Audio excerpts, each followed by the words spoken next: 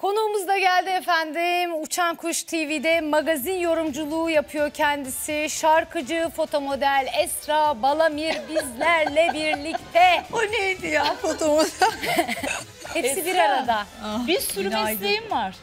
Evet ama yani fotomodellik çok küçükkendi ya. İlk Evet, olsun. ne olacak? Gülşen küçüklükten itibaren saydı. E tabii çünkü Gülşen beni oradan beri tanıyor. Buradan beri Hepimiz tanıyoruz, hepimiz tanıyoruz. tanıyoruz.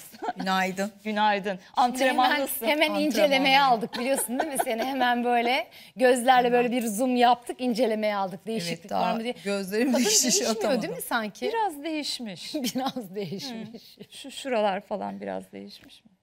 Yo, hiçbir yerim değişmedi Yo, ama. ben- Yani değişmiş miyim diye mi Ya da çağırdınız lens mi taktın? Ha Lens- evet lens taktım. Bir değişiklik Bir var. Aynen, lens kısmında taktı. değişik. Evet. var. Bize böyle renkli renkli. bak. Aynen çünkü Konulara da renkli bak. evet gayet güzel renkli bakabilirim hepsine. Çok Hazal. Kaya'yı izledin mi? Nasıl İzledim buldun? baştan sona. Ben diziyi beğendim. Ee, oyunculuğuna gelince hani bilmiyorum eleştirecek o kadar oyuncu var ki benim sıralamama girmiyor Hazal. Yani çok daha fazla eleştirebileceğim, e, daha amatör bulduğum çok oyuncu var. O yüzden e, hani sonuç itibariyle senaryonun gereğinde şu var. Böyle orada böyle bir fantastik bir durum var. Evet. E, o yüzden hani çok beni tırmalamadı izlerken. E, çünkü rahatsız edici bir durumu yoktu Bak bilmiyorum. çok güzel bir şey söyledin. Hazal'a gelene kadar benim radarımda Evet, başka isimler daha var. isimler var. Bu diziye gelene kadar Hazal bizim radarımızda bile değildi. Öyle Evet, söyleyeyim evet. sana. Biz Evet. Hazal'ın Bu oyunculuğunu dizide bir şey beğeniyoruz. oldu. Yani bir Nihal'den geldi çünkü o. Tabii Nihal'di, Feriha'ydı. Aynen. Onun için hani e, çok böyle oyunculuğunu eleştireceğim kategoride değildi benim için Hazal Kaya. O yüzden o kadar böyle bir nasıl oynuyormuş diye bakmadım. Sen açıkçası. bakmadın mı? İzlemedin de. Hayır izledim. Ha, Baştan izledin. sona izledim ben diziyi. Peki ona gelene kadar çok eleştireceğim isimler var dedin. Kim onlar? İlk böyle ilk üç dünkü konumuza sorduk örneğin o söyledi. Yani ilk üç olarak şimdi söyleyemem ama mesela Hande Erçel dediniz. Evet Hande, Hande Herkesin var yani. listesinde Ee, bir Hande Erçel Evet. var. Biraz da ezberledi. Görselini çok beğeniyorum. İnanılmaz güzel bir kız. Ama oyunculuk konusunda biraz... Çabası var, çabası var. Bu kız kendini gerçekten değiştirmek için, geliştirmek için bir çaba gösteriyor. E, yani yapması Yani Güneş'in kızlarına bir bak, bir de son işine bak. Gerçekten kız değiştirmek için çabalıyor. Yalnız görseli gerçekten. görseli Evet, evet. Hollywood yıldızları şu anda gibi. bence Kesinlikle. muhteşem. Yani gerçekten gönderin e, Amerika'da herhangi bir filmde rol alsın o kadar güzel. Çok Evet, beğendim. Kırmızı halılarda batmaz göze. Aynen. Kırmızı halılarda yürüsün. Oralara çok yakışır. Senin estetikler an nasıl? Ay yine oraya gelelim ya. İlla o bir konuşulsun Yok, o her geldiğinde. Hayır canım ya. O dertli. Ama zamanında da söylemişti Yani zaten. bin kere söyledim artık aynı konuyu ısıtıp ısıtıp önünüze koymayayım Herkesin herkesin ezbere bu işi ve her Aynen. doktora yaptırmaması konusunda Aynen. sen daha neyse, önce uyarını şükür vermiştin. En azından e, son geldiğimden bu zamana bir ameliyat daha oldum ve o ameliyatta bayağı bir başarılı sonuç oldu. Burnumu aşağıya indirmeyi başardı adamcağız. Yani o yüzden Yeni bir hani ameliyat çok- daha mı oldu? E Oldu tabii çok mu? oldu. Bir seneyi geçti şu an. Kaçıncı ameliyat oldu? Dört Artık şimdi? bilmiyorum. Dörttü yok, galiba. dörtten Üç kere fazla. daha olmuştu. Aha, evet evet. Yani ben zaten yaptıramadım yıllarca korkumdan. Ne en fena son bir şey ya. çok araştırarak bir tane doktor buldum Ankara'da gittim. Bayağı iki hafta falan da orada kaldım yani. Yeter ki dedim Allah'ım iyi olsun.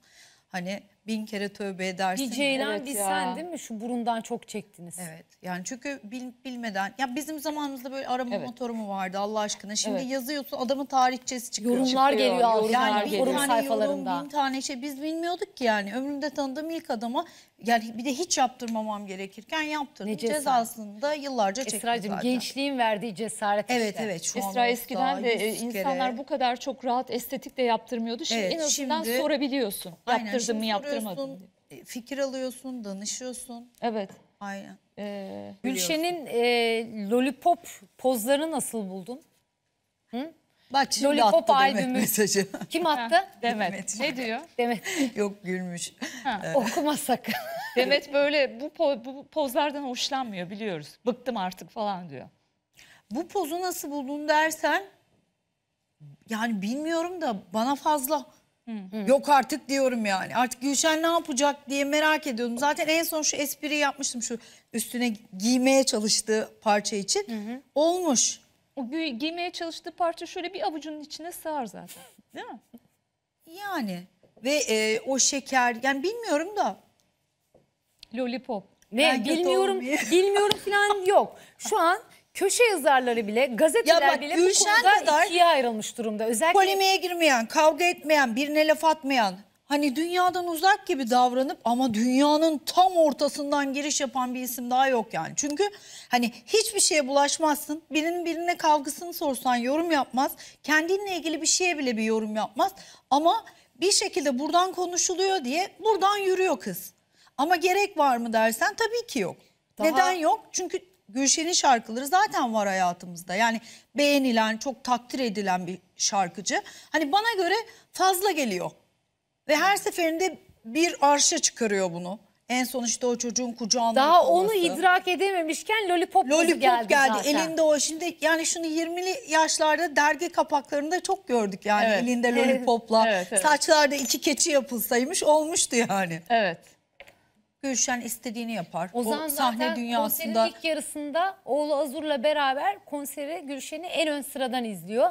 Azur'un uykusu gelince ikinci Gidiyor. yarı başlamadan gidiyorlar. Yani orası karımın e, sahnesi ve ne, Ne yapıyorsa yapıyorsa orada yapar ama evde Gülşen başka. Mesela ben Gülşen'i çorbacıda gördüm. İnanamadım. Bildiğiniz sahnede o iddialı kadın değil.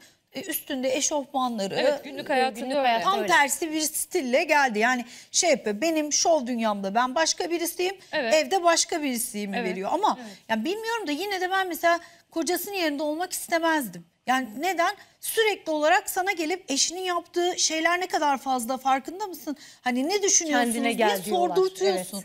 Adam bir cevap verir, iki cevap verir. Üçüncü de ya kardeşim sen de şunlara bir ayar ver demez mi evin içinde ya? Yani Türk e, erkeğinden bahsediyoruz bir de. Ozan Çolakoğlu klasik tanımındaki bazı erkek tiplerine uymuyor. Verdiği cevaplar 3-5 hep aynı. Çünkü ben arkadaşlarımız deva, de- devamlı soruyorlar. Ee, o, o konu tam tersi bir adam olsaydı zaten sürmezdi ki ilişki. Tabii canım yani, Yani Gülşen daha üç gün yapamazdı. önce Bergen'i izledim ben yani. Tabii ki izin vermezdi ama Evet.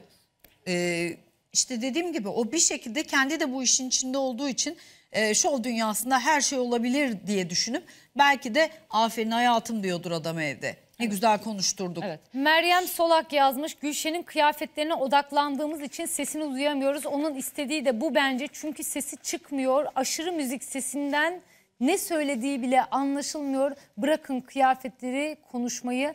Lütfen biraz da sesini konuşun. Evet son zamanlarda bu tarz yorumlar da çok geliyor. Ee, müzik o kadar bastırıyormuş ki Gülşen'in sesi duyulmuyormuş bile. Ee, yani onun tamamen tesisatla alakalı da ol- olabileceğini düşündüğüm için hani çok söyleyecek bir şey yok. Gülşen'in hani bir sesi olduğunu hepimiz biliyoruz. En azından bir beste yapma yeteneği olduğunu da hepimiz Sanatçı, biliyoruz. sanatçı olduğunu sanatçı biliyoruz. olduğunu biliyoruz. O yüzden hani oralarda tesisat problemi miydi neydi o kısmını bilemem ama bilmiyorum da Gülşen'in Lollipop'tan sonra daha zaten giyecek hiçbir şey kalmadı. Evet. Ya Ama yine bir beklenti yok. içindesin. Yok benim yok. Benim e, Lollipop'taki için. kıyafet Nirvana'mdı. Ben zaten onu böyle bir e, Nirvana bu Benim? Nirvanam Bence- değil. Benim bence- Nirvanam değil Bence daha. benim Nirvana'm Hangisi? bir şey söyleyeceğim. Gülşen üzerinden Aha. gidersek hiçbir şeyin olmaması. Bundan sonrası ne? ama sahneye de hiçbir şey yok mu çıksın? Bilmiyorum Yaprak artık. Onu da Öyle yazmışlar, stil yaprak var. danışmanları, Ya stil danışmanları işte ben karar hani verecekler. Başka bir şeyler yani baksana şu üstündekine bir bikini üstü, bir büstiyer ne bileyim bir hani ne diye ne diye Bunun adlandırabilirim ötesi, bunu? bunun ötesi olmaması işte. Hani şey gibi e, gazetelerde çarpıtıyorlar. Doğru. Eskiden, Doğru. eskiden tutti frutti vardı. Çin çin çin çin hatırlıyor Ha, musun? bak Üzerine böyle çarpı bile atılırdı, değil mi? Şunun gibi bir şey çıkıyordu yani. Evet ikisi de kafa nereye ben oraya modundalar. İkisi de yorumları hiç umursamıyor. İkisi de bildikleri yolda ilerliyor. Eleştiriler falan ikisinin de umrunda değil. Evet, Merve şirketi. efendim Gülşen'in son konserinde çok konuşulan hareketine destek geldi. Diyor ki Merve cesaretle kendi olan kadınları dışarıya kulak tıkayanları seviyorum diyor. Bu foto şey bu görüntüye. Şimdi Merve de zaten başlı başına hiçbir zaman anlayamayacağım bir kız. Gerçekten Nesini öyle. anlamıyorsun? Bak Çok nesini anlaşılır. Nesini anla- Sen çözdün Bu değil mi? kızı yani çok yakın etrafından biliyorum. Ha. Ee, gelen projeleri okuyor beğenmiyor. Bunu Evet. mu oynayacağım, bunu mu oynayacağım diyor. Yaptığı hiçbir şey yok. Ee, bir şarkıcılık hevesi oldu. Emre ile yakınlaştılar. Evet. Ee, ki zaten orası da ayrı bir enteresan bir durum. Düşünsenize yani yıllardır Emre'ye emek veren bir e, eski eş şimdiki menajer durumu var. Bir anda Merve çıktı. E, onca yılın emeği ne olacak mesela bu beni şaşırtıyor. Sonrasında aradan bu haberler çıktıktan birkaç gece sonra bir yere gittim. Aa bir baktım Merve masada oturuyorlar 3-4 kişi. Neyse çektim çaktırmadan. Çektin mi? O görüntüleri sen mi çektin yoksa? Yok vermedim hiçbir yere. Kendimde duruyor. Çektim ama hani Niye abuk bir şey yoktu. Sadece hani Merve Kaya'yla şey Emre. Emre, Emre Kaya'yla e, birlikte haberleri olduğu için ben de hani olur ki bir şey olursa Samimiler diye mi? dursun dedim yani masada. Nasıl samimi mi iki arkadaş gibiler mi? Yok iki kız iki erkeklerdi. Ondan sonra o yüzden çektim yoksa niye Ne durduk yapıyorsun? yere Cep telefonunda arada bir bakıyor musun? Yok işine hayır hayır yarıyor? dursun ya ne olur ne olmaz. Ay Bu böyle haberi milleti çekip çekip dikkat edelim ha dursun diye kenarda bizi de Hayır ama o mesleki bir şey yani doğal olarak benim bu habere sonrasında ihtiyacım olabilir diye. Sen görsen çekmeyecek misin? Bunca yılın Çekerdik, gazetecisi çekerdik, çekerdik. çekmeyecek mi? Çek- ben Çekeceğiz. Yani ben mesela hayatımın e, şeyini e, çok konuşulan bir ismi sen iyi bir kızsın çekmezsin dedi diye çekmedim. Çok pişman oldum. Kim? Ondan Aa, sonra ne? da Ciddi dedim ki bundan sonra herkes çekerim. Ne söyle kim o? Kimi gördün? Birini gördüm söylemeyeyim şimdi. Hadi Barıştılar. söyle aramızda. ya. E barıştılarsa E, da barıştılar, işte gayet söyle. Mutluluk haberi vereceksin yani. Ha, o ara Hayır, böyle hayır. ayrıyken Ayrıyken başkasını da gördüm. Arkadaşım olduğu için de o anlık boş bulundum çekmedim. Mesela şimdi olsa acımam. Yakın o zamanda mı bana tecrübe ayrılardı? oldu. Dedim ki Esra'cığım e, yaptığın işten dolayı senin bunu çekmeme şansın yok. Çünkü iki gün sonra da e, inkarlar, bana cevap vermemeler dedim ki.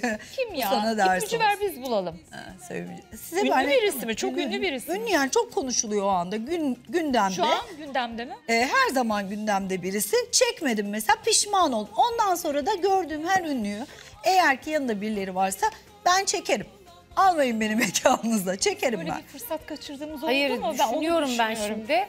Ee, yakın zamanda mı ayrılardı onlar? peki? Bak niye ona takıldınız ya? E, an tamam, çünkü olduğunu merak ediyorum. Şu an hayatını düzene soktu. O yüzden bir şey söylemiyorum. Sen iyi O bir zaman kızsın sen çekmezsin. miydi hayatı? Evet o sıra ayrıydı hayatındaki insanla. Ve ben gördüm. e, o sıra saçlar rengi değişmiş falan anlaşılmıyor kim olduğu ve çok ünlü bir AVM'de geziyor. Ondan sonra çekmediğim için de iki gün boyunca dizlerimi dövdüm. Daha da şu bu an artık Merve'yi gördüm, yani. Merve'yi çekerim. Seni gördüm, seni çekerim. Seni göreyim yine çekerim. Şeker. Biz de Çekerim. ancak çaycıda, çorbacıda falan görürüz. E, makyajsız halimizi zaten bütün Ha, gün makyajsız. Evet, bütün gün öyle dolaşıyoruz. Öyle bir korkumuz Ay da yok dur zaten. şimdi haberi e, yeni haberi verirken biz arada ağzından azıcık laf almaya çalışalım. Efendim Esra'nın bahsettiği efendim o ismi de öğrendik. Esra ne demişti biraz önce? Bir çifti gördüm. Ee, kızımız o zaman sevgilisinden ayrılmıştı. Şimdi tekrar onlar bir araya geldiler. O kızımızı kiminle gördüğümü de asla söylemem diyorsun. İsimlerini de vermem, kimi gördüğümü de söylemem diyorsun. e, öğrendik. Ama şöyle bir şey söyleyeyim. Gerçekten o dönem eşinden boşanmıştı. O boşanmanın ardından Bir de o arada o arada bir basketbolcuyla ismi aşk dedikodularına karışmıştı. Basketbolcudan yalanlama geldi. Ama Kadından- yanlış basketbolcu Kadından durduk. E, yalanlama ama geldi. ismini de verin zaten ortaya çıktı. Bu bir ne? şey söyleyeceğim. Kadından da yalanlama geldi. Evet. O da yalanladı. Ay ayol ismini verin. Hayır ismi Herkes anladı. Sizin o düşün hayır sizin o düşündüğünüz isim değil. Neyse ya boş verin ya şu an arayı bozmuş olmak istemiyorum. Tamam basketbolcu İsmi dedik. Selin. Bilmem- Ha, e, ha. ciğerimi ye canım benim. Doğruyu söyle ciğerimi ye. Doğruyu söyledin. Adı Selin. Soyadını söylemem. Doğruyu söyleyin ciğerimizi yiyin. Daha ne diyelim? Yani. E, Gökhan'la o zaman o zaman boşanmışlardı ama zaten kabul ediyorlar. E, Gökhan'ın da hayatında başka Tabii biri canım. vardı. Hayırlı olsun. Selin'in de evet Selin'in de hayatında vardı ve yaşı epey küçük bir basketbolcuydu ama yalanlamıştı sonra bu iddiaları. Ama bir şey söyleyeceğim. Çünkü o basketçi çok o basketçi değildi. bir basketbolcu üstünde durduk. Benim basketbolcu arkadaşımdan didik didik araştırdım. Sen nerede gördün peki? Bayağı bildiğiniz bu böyle Hani Tarabya'ya gitmeden iki durak önceki bir AVM'miz var ya. Ama AVM'de dolaştıklarına göre o zaman gizlisi saklısı yok. Hayır ama işte o zaman yeni saçlar koyu olmuş ve çok güzel kamufle etmişti. İstiyle Maske takılıyordu. Şapka da vardı. Çok güzel kamufle. Bana dedi ki sen iyi bir kızsın çekmezsin dedi. Çekmedim. Mesela o benim e, pişmanlık noktam. Şu an Neden çekmedim? el Niye ele mi iyi bir gördün kız- onları? Ben iyi bir kız olmak istemiyorum. Şu an Tabii tabii, el seni ele- el izlerken ele de görmüş. senin çok iyi birisi olduğuna bir kez daha kanaat getirmiş oldu. Artık iyi değilim. Hayır çünkü neden biliyor musun? Sonra bir şey oluyor mesela soru soruyorsun cevap alamıyorsun. E şimdi ben seni koruyup kolluyorsam senin de bana arada bir jestin olması gerekiyor değil mi? Beni süründürmemen lazım sorduğum soruyla. O yüzden daha kimseye Peki inisiyatif sana, tanımıyorum. e, Ha, sana bir jest, bir haber jesti en azından yapmadı. Bir şey yap. Hayır so- en azından konuşulurken sorduğun soruda sana cevap vermeli değil mi mesela? Şimdi sen ben sana desem ki Haklı. kaç yıllık arkadaşımsın Müge bunu görmezden gelir misin? Sen de tamam dedin. E, iki gün sonra başka bir konuda yine ben konuşuluyorum ve sen bana soru soruyorsun cevap vermiyorum. Demez misin? Öyle çok oraya- nadir var biliyor musun? Peki. Öyle ünlüler. Biz mesela şimdi yakın zamanda demeyeyim birinin boşanma haberini öğrendik. Ee, yayın sırasında geldi ve yayın sırasında da o kişiyle yazışıyoruz. Bize şöyle bir şey rica etti. Daha henüz kızımın haberi yok. Ha, Ha, tabii. Aynen. Kızımın haberi yok ama bu eninde sonunda duyulacak. Siz bu haberi bugün vermeseniz yarın verseniz Olacak. olur mu? Ben de zaten kimseyle hiçbir şey paylaşmayacağım Evet. dedi. Sözünde de durdu gerçekten. Yani evet işte. ya mesela da o ya da kaç şekilde kişiyi e, hadi burada açıklıyoruz her şeyi Ka- birkaç kişiyi de e, bir ağır bir rahatsızlığa yakalandığını öğrendik.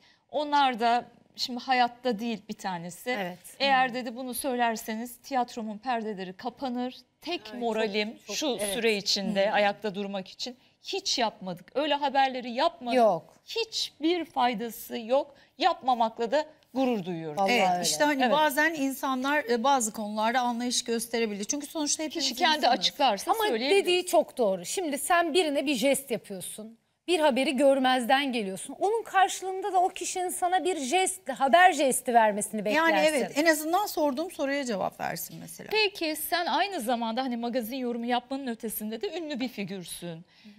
Hiç arkadaşlarını kayırır mısın? Örneğin Demet Akalın'la ilgili bir şeyi gördün. Demet Akalın haberini nasıl vereceksin? Demet'i Yani- sinirlendirecek bir şeyi yakaladın Hayır. demek ki. e, bir kere biz kendi aramızda da zaten bunu konuşuyoruz. Aa onu yapmayaydık iyiydi di- diye e, zaten söylerim. Ama yayında kayırır mıyım kısmına gelince e, ne yaptığına bağlı ya. Yani genelde kayırırım. Genelde kayırım gördün mü? ya şimdi neden kayırırsın? Sonuç itibariyle ailenden biri gibi düşün. Evine girip Ailenden birini Tabii. korumaz mısın? Sonuçta kaç yıllık bir kardeşlik arkadaşlığım var. Tabii. Doğal olarak onu koruma güdüm benim zaten bu e, bütün arkadaşlarıma karşı var. Aşırı korumacıyım. Yani ailemden de e, şeyim o. Herkese karşı öyle. Yani genel yapım bu benim. Çocuklukta 3 yaşındaki fotoğrafımda bile kardeşimi şöyle tutmuşum. Yani o koruma güdüm var. Ama mesela e, Demet bir şey yapsa ah bu keşke böyle olmasaydı zaten derim yani. Ama bir şey söyleyeceğim. Burada senin yorumculuğun o zaman tartışılır.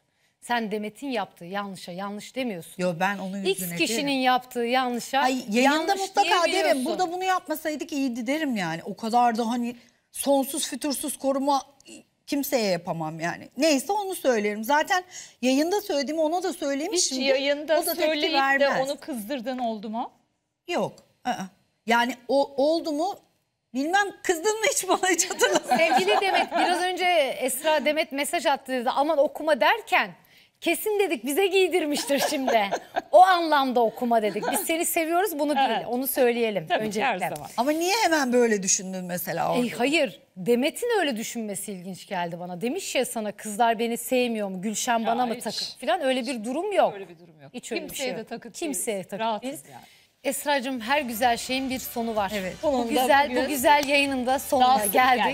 gel. Çok teşekkür ediyoruz geldiğin için de. Ben teşekkür ederim.